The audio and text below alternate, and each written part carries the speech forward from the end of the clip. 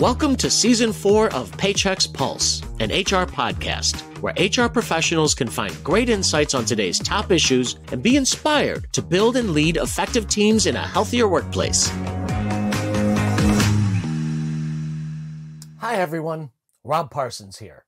Welcome to another episode of the Paychex Pulse podcast. My guest today is Elizabeth Watson, one of our very own Paychex HR professionals. Elizabeth has worked in HR for 15 plus years. She has an MBA in Human Resources Development.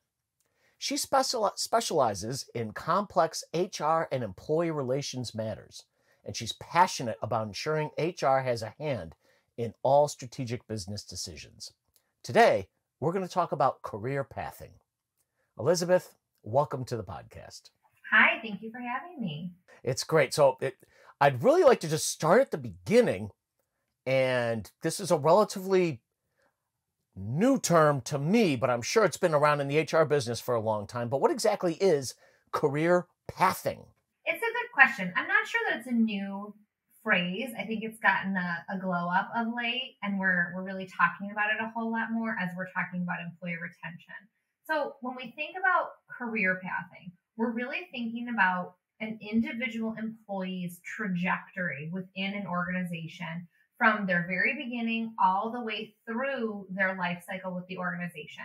So we say individual, it's for a specific person, not necessarily a specific position. And we want to make sure that we're coming up with something tailored to them, their knowledge, skills, and abilities that takes them from their very beginning all the way through as they grow and develop and continue to work with the organization for hopefully an extended period of time.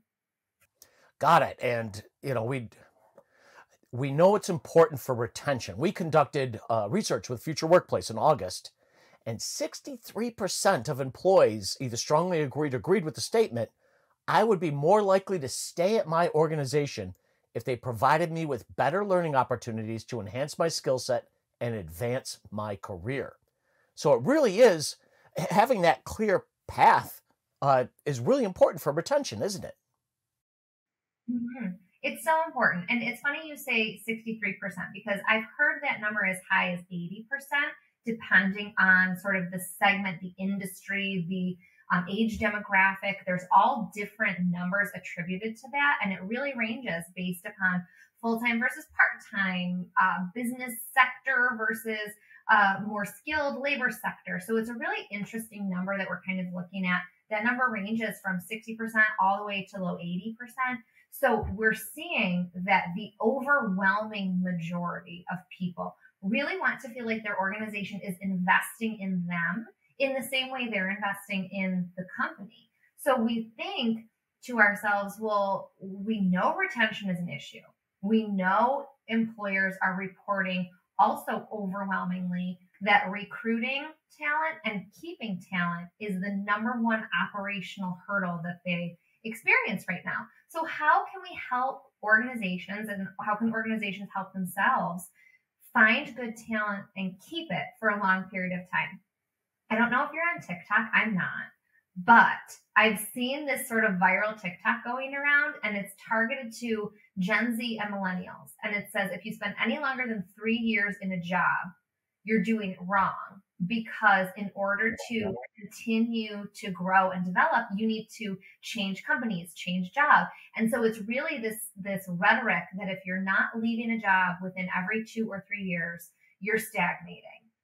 So how can companies do their part in helping individuals feel as though they're not stagnating continue to build them up continue to help them feel um, as as solid contributors to the company and continue to make sure that they're getting top level skills we really have to make sure that we're creating these career paths so people are buying in just as much as the organization is buying into their people. So when we talk about that we we kind of separate it out into career pathing which is designed based upon the individual's passions and likes and strengths and how to develop them using that same information. So it's a really interesting balancing act that organizations are facing. It really is. And, and I love that point you brought up because more so than ever before, people are taking control of their careers. It's not a career at a company, it is Rob. It is my path. Mm-hmm. And the yes. the different companies are just stepping stones. So it's really mm-hmm. I love how you brought out that dynamic. So how how do I connect the dots? Because as a company, I can't just I can't just give you everything you want to mm-hmm. eventually move on. So how do I mm-hmm. figure out what you want and how do I align that with what I need? Mm-hmm. That's a really tricky balance, as you say, because organizations have to continue to be looking ahead. And it's oftentimes that our organizations are not zooming out to really look at the big picture of what their next steps are going to be or what their 10 next steps are going to be. And individuals, as you say, are more self interested. Um, not in a bad way, certainly. Take control of your destiny. That's a good thing to do. Um, but I do think that in order to make sure we have buy in from employees, they should understand the big picture too. So we want to make sure that there's strategic thinking that's happening, not only on behalf of the business planning, but on behalf of your planning for your labor force as well. So we're chatting with our employees to find out what skills do they think they need to bulk up to be successful in their current position, but also what skills do they need to make sure that they're successful within our organization, perhaps not in their current position, but within this organization in a year or three years or five years? And then how can we as an organization make that very strategic and well thought out investment, but an investment nonetheless in our people? One of the top line items for any organization is payroll. So we should be investing in that um, specific huge cost, but also huge um, asset that we have in a way that aligns. And I think sometimes people look at that as purely just a cost. And we really need to look at that as an investment and an asset in the way we would anything else. I had a great guest on who really pointed out that that human capital is the only asset we have that can actually appreciate.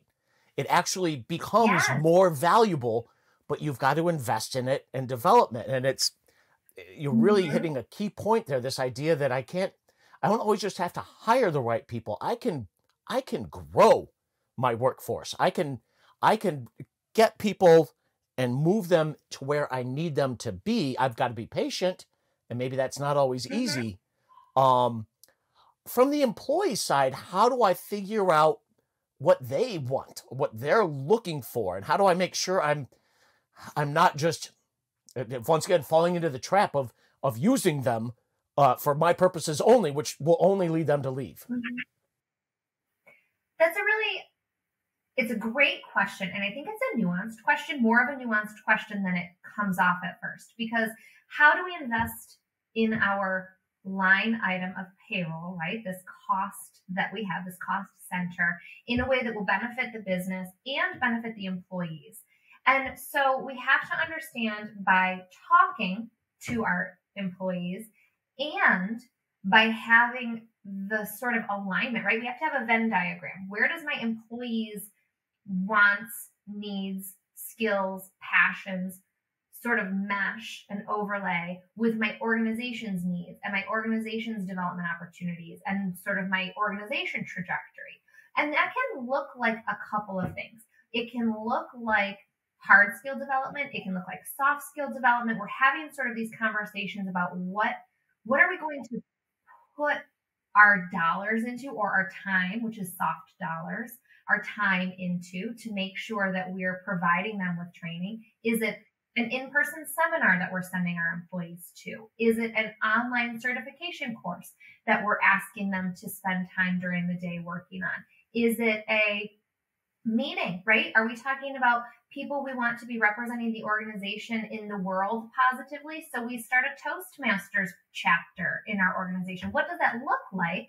Um, and I think that those Venn diagram circles have to overlap to make sure that we're spending those dollars, minutes, etc., in a way that is mutually beneficial because ultimately, as we upskill our workforce, our work product will get better, our work speed will get faster. All of these productivity metrics that you can actually use to determine whether a training or a development opportunity has been successful will show a positive return.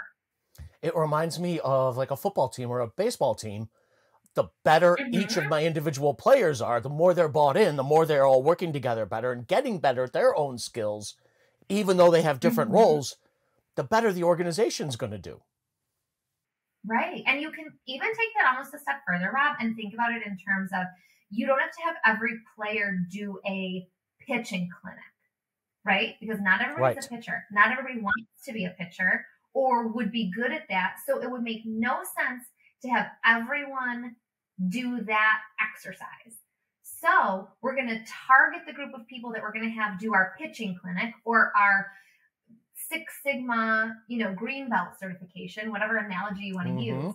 And then we're going to target a different group of people to do a totally different training or a totally different exercise. And that's how we can make sure that our organization is benefiting and upskilling in a way that's um, really continuable and scalable that you can do across all segments of your organization and that's going to give you the best um, sort of bang for your buck, for lack of a better explanation. Yeah. You know, we want to make sure that we're investing in something that's going to have a real impact on the organization. If you have everybody do the same training, the impact kind of reaches a, a plateau at a certain point.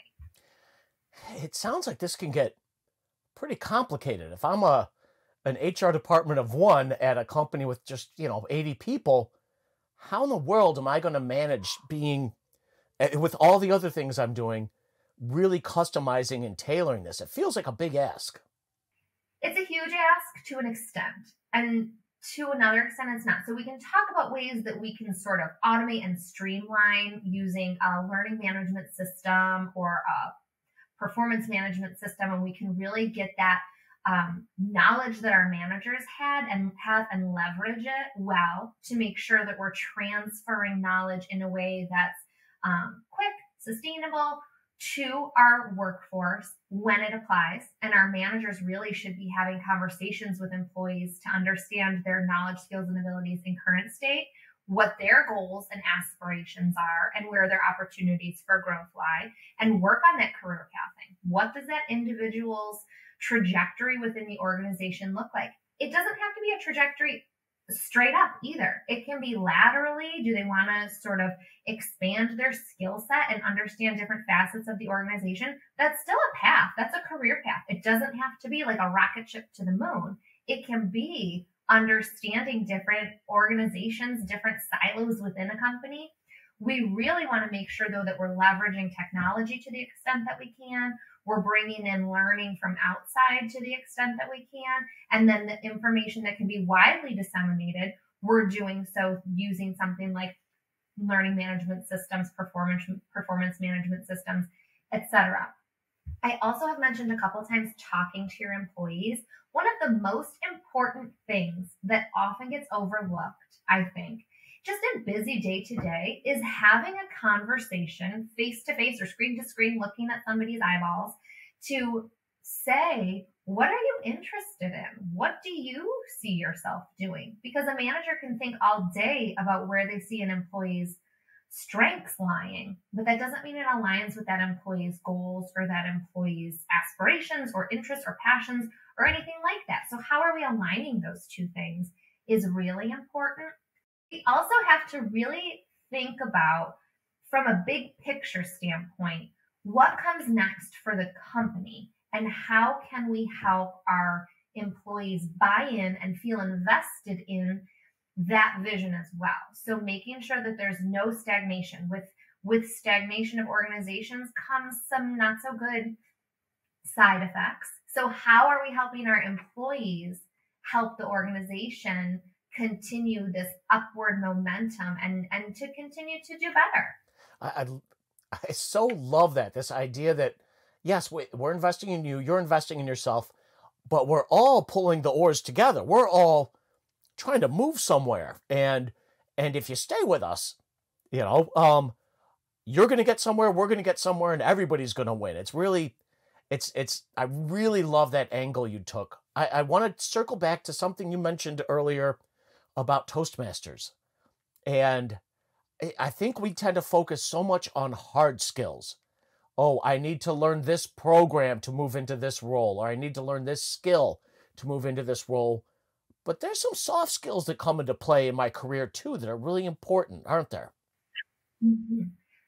Soft skills and hard skills are a very interesting juxtaposition. So we have the hard skill development that's really easy to identify. Someone needs help with Excel. Somebody needs help with, um, you know, the software that we work in often. When we talk about soft skill development, it's much more nuanced. It's harder to self diagnose almost where your soft skills are lacking.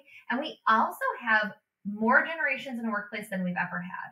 So we talk to different generations and they identify their soft skills as needing an increase or a facelift, a little zhuzh in different areas. So we talk about some of these generations that have been in the workforce for a longer period of time. They're looking for help with things um, like data uh, use, and they're looking for how to work with technology a little bit more streamlined. And then we talk to our younger generations. I think there was an identification that Gen Z says they need help with um, decision making and decision making is a really important skill that we're faced with every day from big to small. And those are totally different soft skills that are equally important to develop.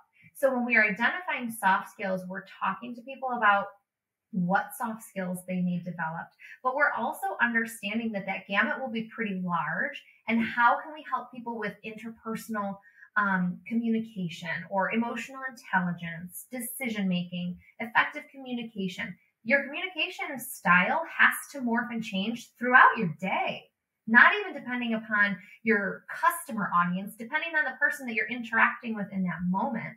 And it's a really nuanced skill that's important to understand. So, making sure that as we're thinking about where our opportunities for investment in our employees lies, it doesn't have to be specifically in certifications or in going to buy new equipment that they'll be excited about.